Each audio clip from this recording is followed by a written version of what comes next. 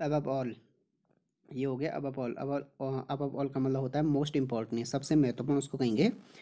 above all above all fishing requires great patience सबसे बढ़कर मछली पकड़ने के लिए क्या चाहिए? बहुत धैर्य की आवश्यकता हो आवश्यकता होती है तो अब ऑल मीन्स होता है मोस्ट इंपॉर्टेंट सबसे महत्वपूर्ण या सबसे बढ़कर